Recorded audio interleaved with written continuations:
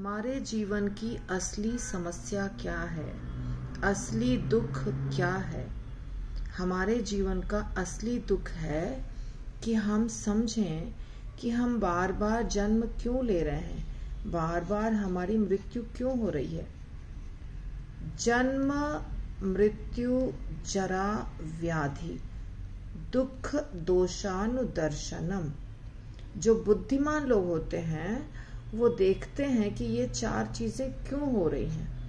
जन्म, मृत्यु, बीमारी, बुढ़ापा। जरा यानी बुढ़ापा, जन्म, मृत्यु और व्याधि यानी तकलीफ़, दुख, बीमारियाँ।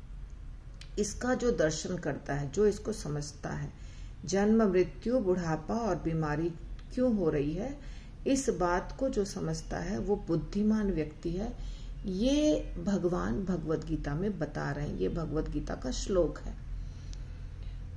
तेरहवें अध्याय का नवा नंबर श्लोक है। तो असली समस्या हमारे जीवन की है तीन।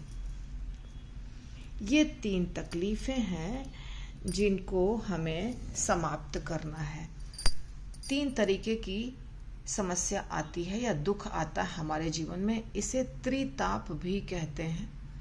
त्रिताप यानी तीन ताप आधि दैविक आधि भौतिक और आध्यात्मिक। जो देवता गण हमें तकलीफ़ देते हैं, उसे कहा जाता है आधि दैविक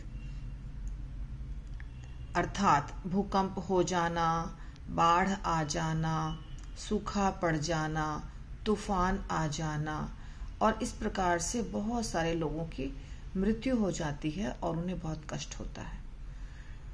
ये देवताओं के द्वारा दिया गया कष्ट है।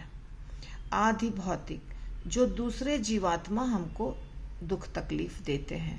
कोई हमारा पड़ोसी दे सकता है कोई हमारा रिश्तेदार तकलीफ़ दे सकता है।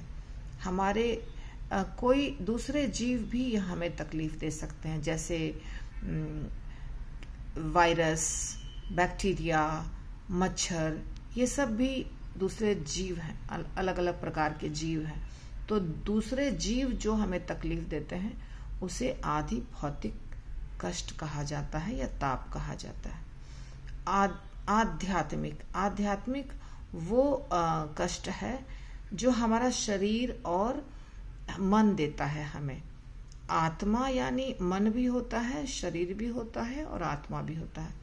आध्यात्मिक तो आत्मिक का अर्थ हुआ हमारे मन और शरीर में जो जो समस्या आती है उसके कारण जो हमें तकलीफ़ होती है। तो ये तीन प्रकार के कष्ट हैं जिन्हें त्रिताप कहा जाता है।